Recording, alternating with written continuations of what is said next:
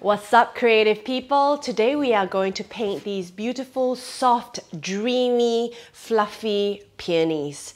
I don't know about you, but peonies are definitely one of my most favorite flowers to paint because they're just loose, they're relaxed, and they just drop me into this amazing zone. Um, so let's dive right into the painting.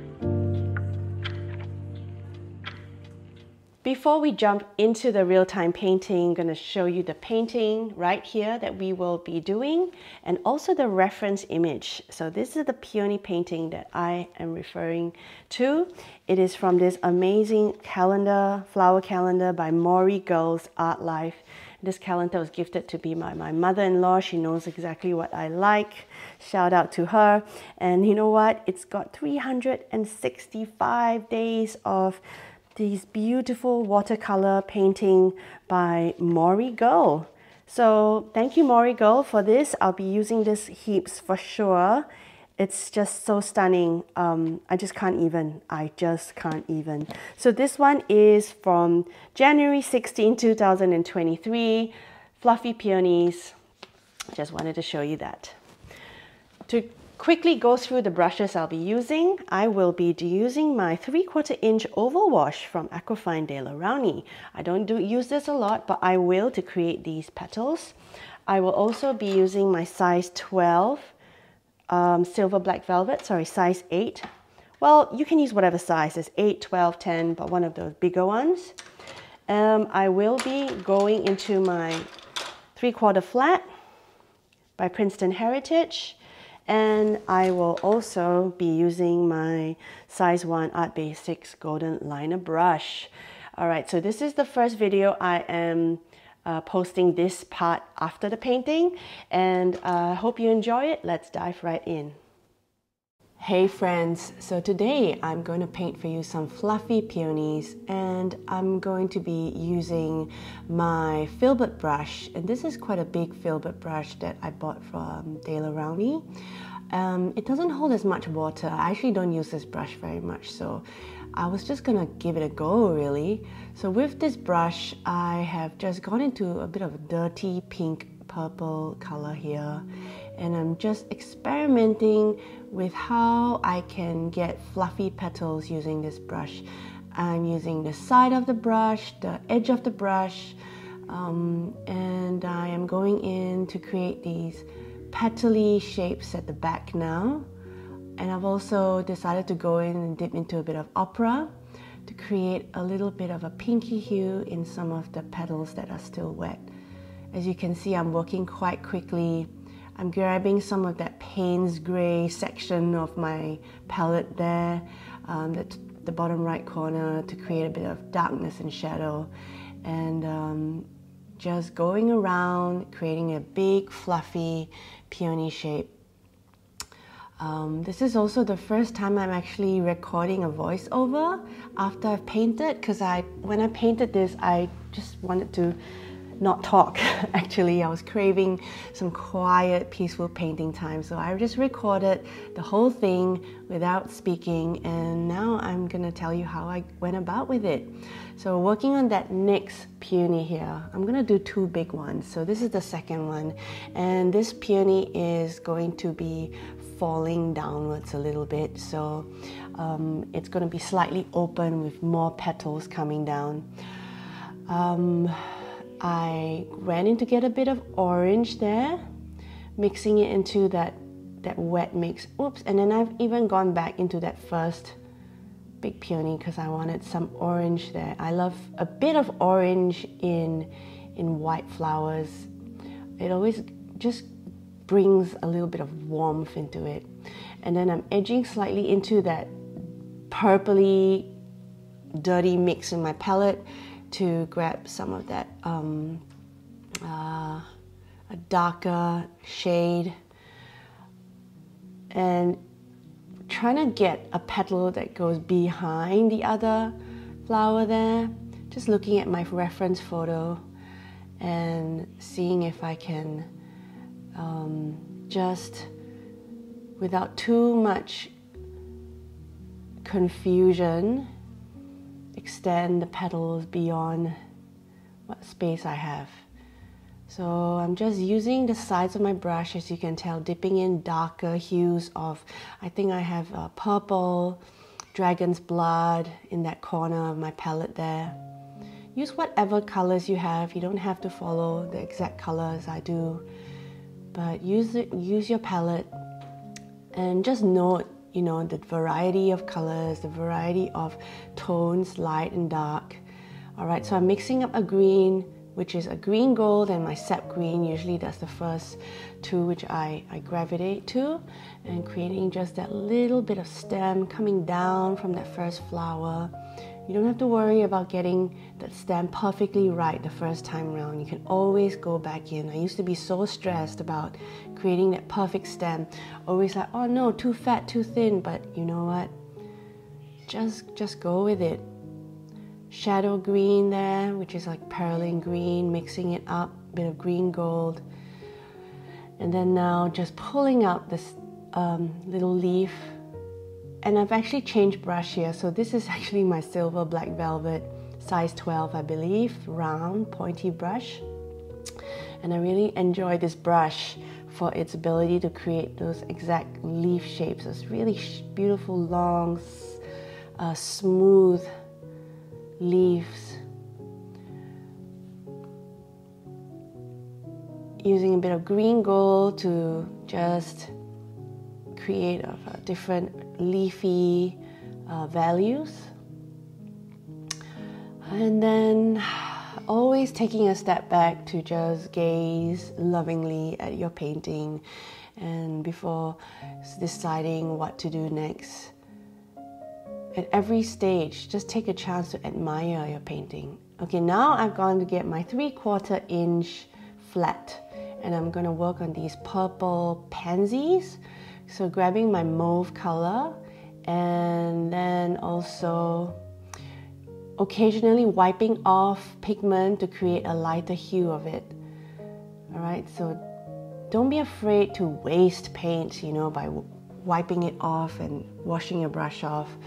Um, I used to get really like feel wasteful when I wash off pigment to get a lighter hue, but in the long run, watercolor paint lasts so long, you don't have to worry.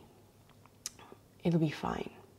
Okay, then you've got um, just balancing out a couple of these darker flowers. When you create a composition, you want to create contrast by the size of the flowers, the tone, some light, some dark. And I always loves to look at um, different, different sizes and, contrast basically. Pulling down some stems from these pansies here.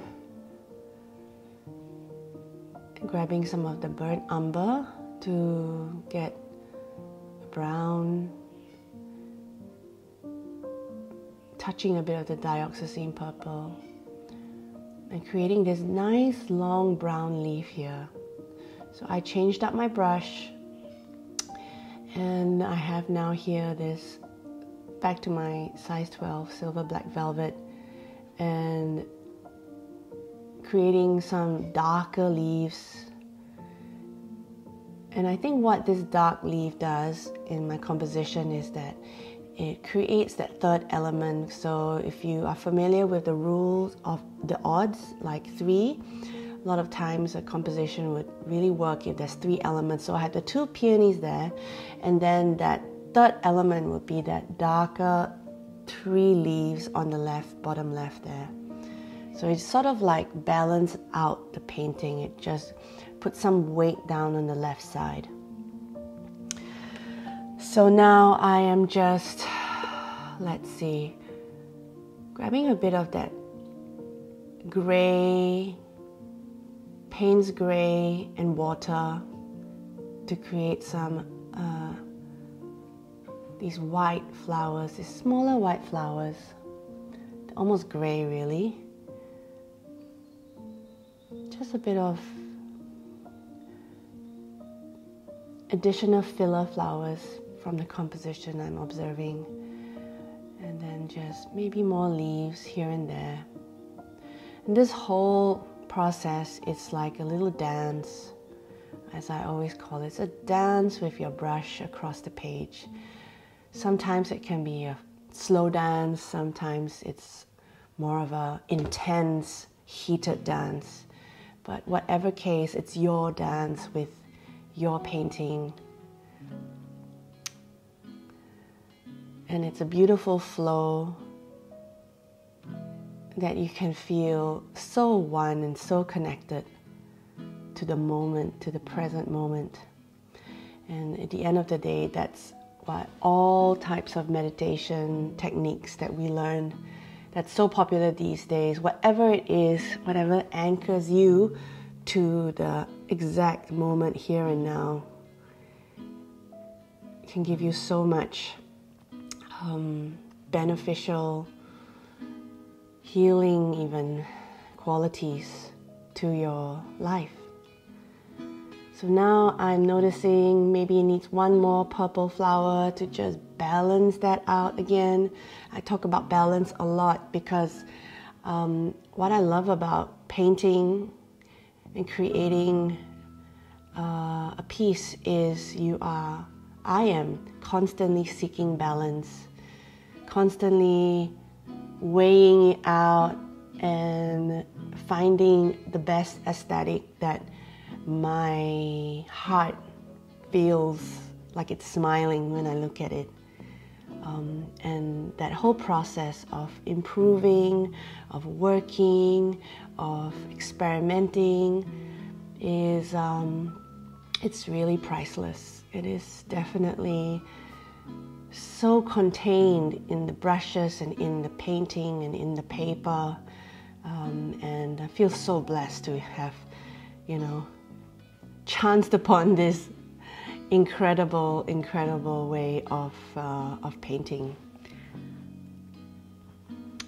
So, right now, we're just looking and taking a step back and feeling what else you need. I grabbed my smaller little round, I think size 4 round, and the petals are now dry enough for me to paint some yellow stamens in. Always a super exciting part to put in a big contrasting color. And everything nature provides, everything nature provides. Nature provides this extraordinary subject that we as humans can gaze upon and mimic on paper. Such a blessing. So, just putting down the stamens with my brush.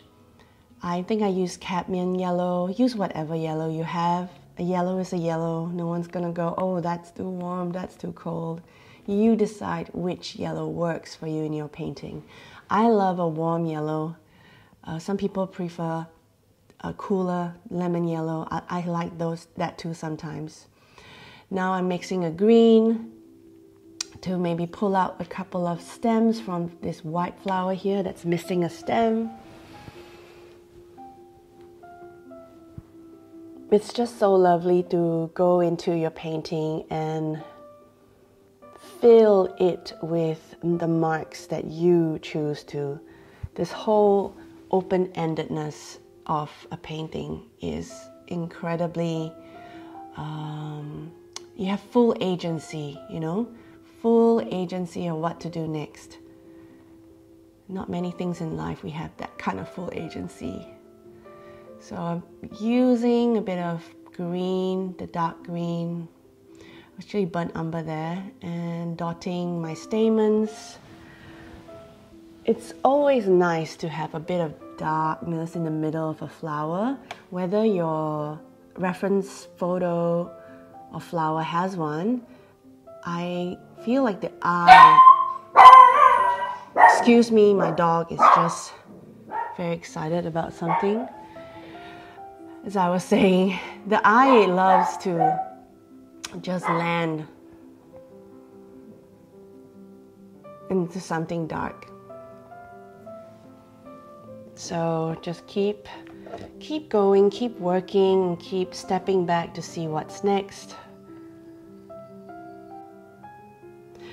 just darkening the stems at the bottom there, taking my time just to pause and gaze. Pausing and gazing, pausing and gazing lovingly at any chance you get, because, you know, if you know you're going to keep going with a painting, the painting will never be at that stage again. It will it will move on. So just like watching our kids grow right? We don't stop and pause at how cute they are at whatever age and we just want to rush through to the end what's the point? I just spent this really really lovely weekend with my kids camping with some friends and just appreciating them totally for the whole for them being you know seven going on eight and then 10 going on 11 oh so so sweet. All right i think i'm ready for the i'm going in for shadows now mixing up a mixture of that gray burnt umber mixture of dirty water my palette and going in with that first shadow using my silver black velvet possibly size 12 there. Um, and not being sure where those first shadow marks will go it's always a bit nerve-wracking the first layers of the second layer I put down. But I like to play with um, different values of the second layer glazing as you call it. So some sometimes a bit darker sometimes a bit softer and this round it's um, still quite a watery mix and I could I can tell at this moment I'm like a little bit doubting myself already. Like what did I do? Why didn't I just leave it?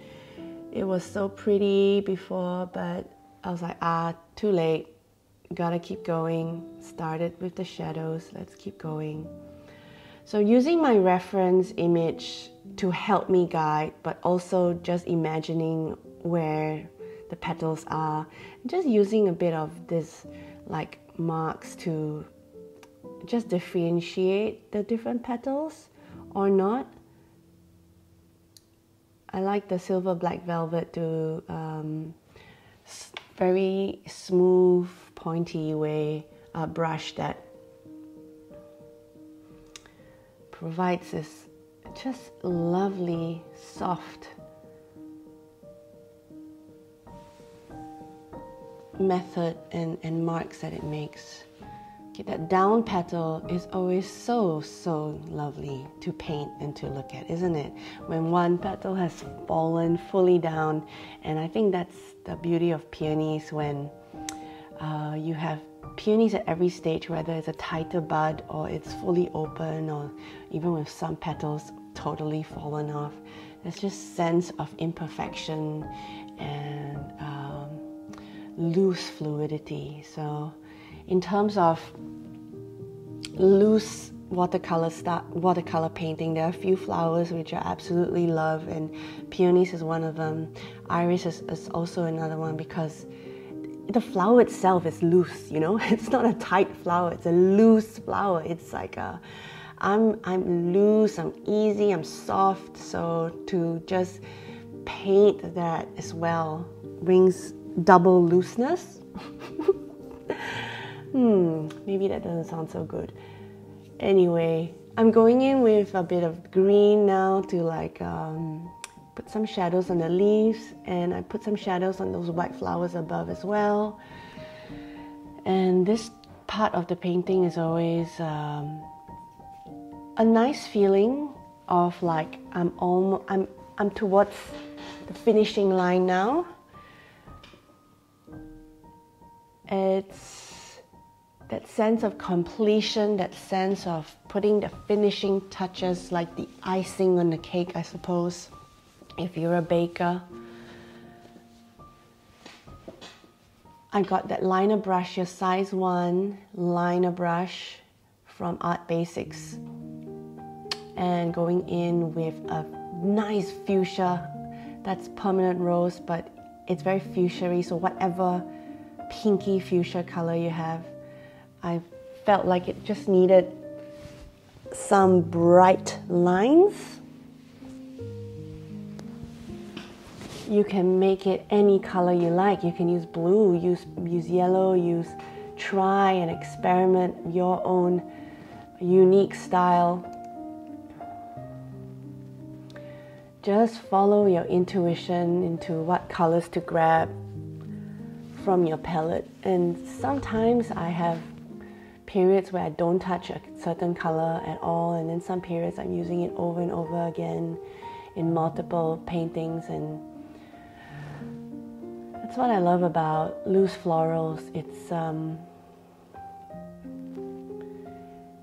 you can it's like almost abstract you know you're you're, you're mixing abstract with realism and creating your own interpretation of what beauty is. I really love this quote from andy j. Pizza and he's got a couple of classes on skillshare. And one of the classes was like how, how to find your own style, one of those um, uh, tutorials. And I think his definition of uh, your style is basically your style is your version of perfection, right? Your own version of what perfection is. And that's just that's just it. That's completely it, right? So whatever your whatever you think looks the most beautiful, whatever perfection you're trying to achieve. It doesn't mean you have to be a perfectionist, but every time we put paint to paper, we are trying to create something beautiful, isn't it? So it's like a standard you have. So just putting the details on, I think I've used a bit of um, darker red, dragon's blood, and we are definitely heading towards the end of the painting. You say it's finished when you think it's finished. Um, and thank you for watching this real time painting. It's just one overhead shot and me talking along, a bit of music. I hope you enjoyed my two fluffy loose peonies in watercolor. There you have it. That's done. Almost. Uh huh. Yep, it's done. and there you have it. The beautiful, fluffy, soft, dreamy peonies that I painted um, and I feel like these turn out a lot nicer than I thought it would be. It's always a beautiful surprise in the end when you are happy with your painting, and I definitely am. So if you like my channel, it would be great if you could hit the subscribe button. That will really, really help me grow this channel and like the video. And also look me up on Instagram. I'm at Crystal Tan Art. And if you had painted along with me, tag me and I'd love to see what you create. See you in the next video.